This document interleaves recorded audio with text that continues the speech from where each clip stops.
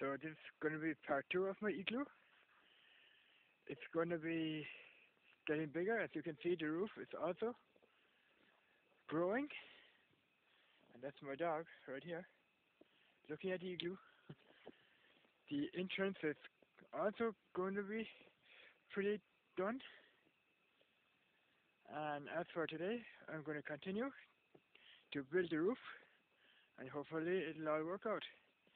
Thanks for watching.